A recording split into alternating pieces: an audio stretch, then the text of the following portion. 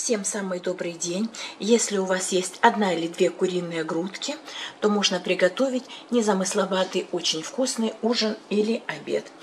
Измельчаем на мясорубке или я измельчила в кухонном процессоре. Добавляю мелко порезанный лук, любой сыр, немного манной крупы, соль, перец, кинза и укроп. Вымешиваю хорошо фарш. Так как у меня здесь находится сыр, я яйцо не добавляю. Но можно сделать небольшое изменение. У кого нет сыра, можно добавить сюда одно яйцо. На доске распределим фарш.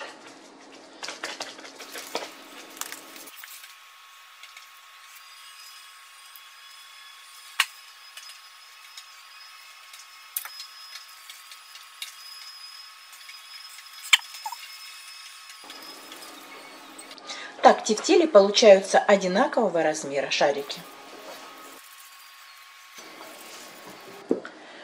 Посыпаю мукой.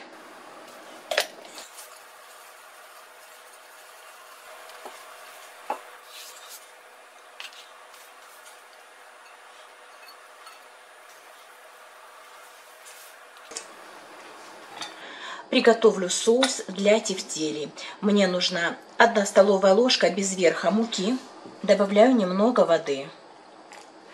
Мука очень хорошо растворяется в воде без комочков и очень быстро. Добавляю сметану сюда, грамм 150. Немного соли, один зубчик чеснока, перец и любые ваши специи по вкусу. У меня все сезонные. И добавляю воду оставшуюся. Попробуйте сейчас на соль и на остроту. Разогреваем сковороду и добавляем немного растительного масла. И выкладываем тефтели. Тефтели таким способом готовить очень быстро. И они получаются одинаковые. Слегка обжариваем и переворачиваем их.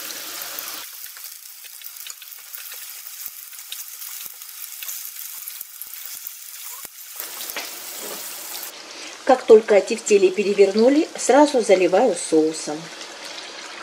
Доводим до кипения, закрываем крышку и на огне чуть меньше среднего готовим 13-15 минут.